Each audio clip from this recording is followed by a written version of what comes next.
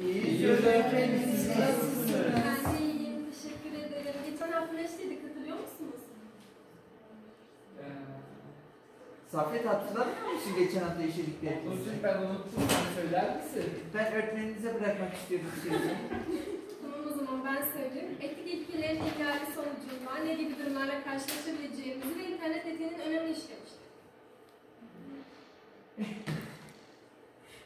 Ha bugün ne işleyeceğiz? Siber zorbalığı işleyeceğiz. Siber zorbalık kavramının ne olduğunu biliyor musunuz?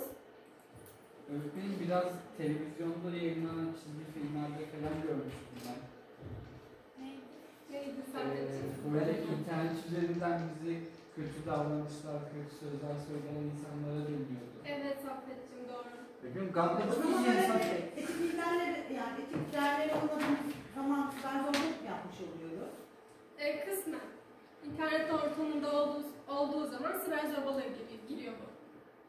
E, peki başka e, söylemek isteyen var mı siber zorbalığın ne olduğu? Onu sen söylemek ister misin? Öğretmenim mesela Safet'in bende fotoğrafları var. ve Ben Safet'e diyorum ki Safet senin bende fotoğrafların var. Eğer bana para vermezsen fotoğraflarını her yerde yayar. Buna sigara zorbalık mı Evet.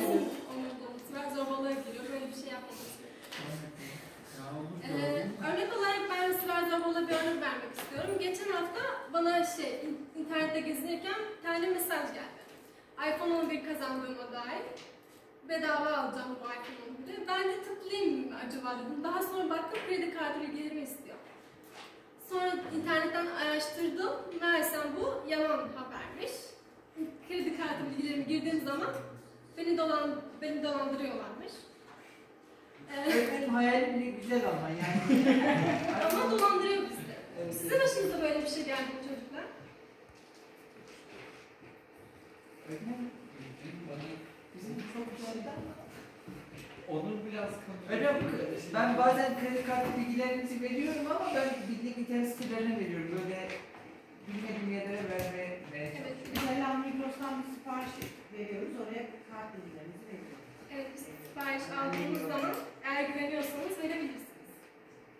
Hocam sadece ama bu illa resim paylaşmak ya da işte kredi kartı dolandırıcılığı. Yo, Çünkü bazen oyunlarda falan küfür ediyorlar. onlar da siber zorbalığa giriyor Hümleciğim. Ee, şimdi siber tahta bir balık kılçığı çizdim size daha önceden. Siber zorbalığın nedenleri yazacağım size. Balık kılçığına. Ee, balık kılçığının baş kısmına konumuzu yazıyoruz. Kılçık kısmına da nedenlerini yazacağız. Sizce bu siber zorbalığın nedenleri ne olabilir? Evet ablacığım. Taciz olabilir mi? Evet ablacığım taciz olabilir. Peki nasıl bir taciz? İşte hocam e, kötü içerikli şeyler gönderebilirler, zorlama olabilir. Evet. İstemediğiniz biri mesela sürekli başka hesaplar açıp bizi ekleyebilirler. Evet olabilir. Fena biliyor bunları. Sen söylemek ister misin Senacığım? Hocam iftira olabilir.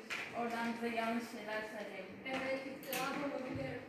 Öğretmenim bazen e, sen adımla bana böyle mesaj yazıyor arka arkaya arka arkaya böyle. O zaman beni takip etmiş oluyor. Yok taciz etmiş olmuyor. Eğer tanımadığımız birinden mesaj geliyorsa o sayılır. Hocam arkadaşım ödüm için sürekli. Evet.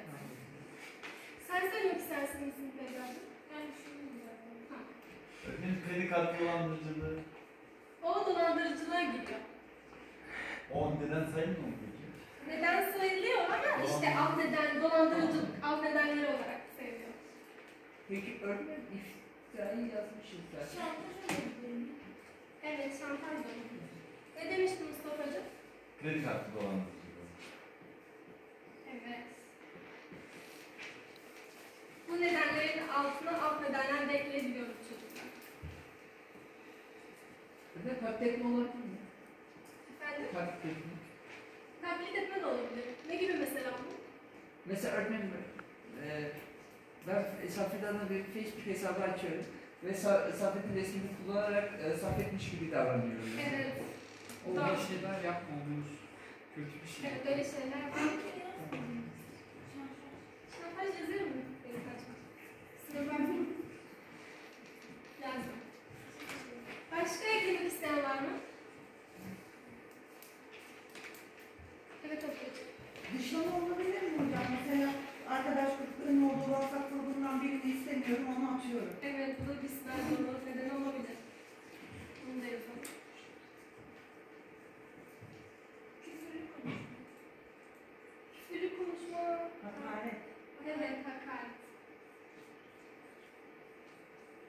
Hakaretin nedeni olarak küfürlü konuşma diyebiliriz.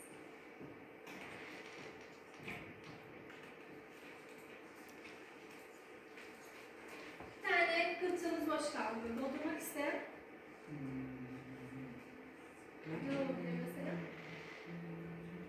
Biraz Biraz bilgi veya görüntüleri paylaşmamız olabilir mi? Başkasının bilgilerini Evet. paylaşmak. Evet, o da olur.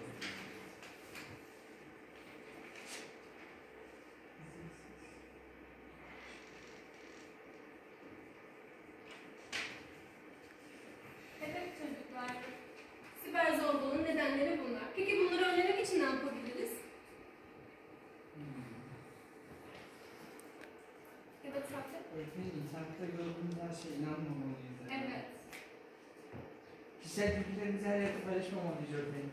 Evet unutmayın. Senen Hocam annemize söyleyebiliriz bir şey olduğunda. Evet annemize de söyleyebiliriz. Eğer çok önemli bir şey olursa da polise de şikayet edebiliriz. Konuşmalarına dikkat etmeliyiz. Evet Beyza'cığım. Olur. Mustafa'cığım. Öğretmenim tanımadığımız insanlarla iletişime geçmememiz lazım. Evet. Efendim, sana özel Özel yemeği bilgi arkadaşlardan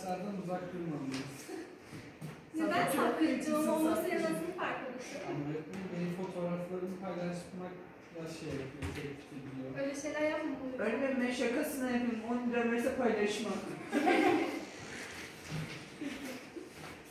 Şimdi size e, değer, değerlendirme için çalışma kağıtları dağıtacağım. Bu Defne. Defne sosyal medya sitelerinde çok aktif. Çok aktif. E, şurada problemi yazıyor. Şu kısma da balık kılçığınızı çizmenizi isteyeceğim.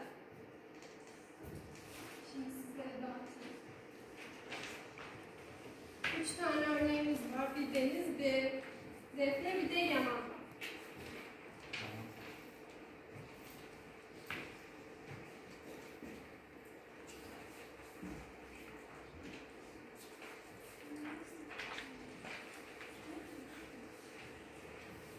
Anlamadığınız bir yer var mı çocuklar?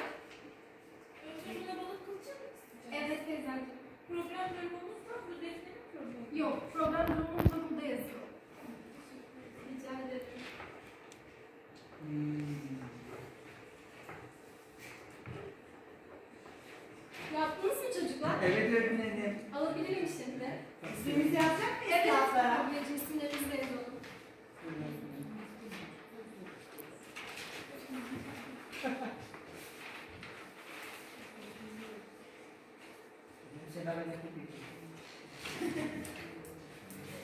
Ee, evet çocuklar, bugünkü dersimiz bu kadar. E, haftaya da helipatlarından bahsedeceğiz. Konumuza çalışarak gelelim, olur mu? Tamam, öğretmenim. Beni dinlediğiniz için teşekkür ederim. Teşekkür ederim.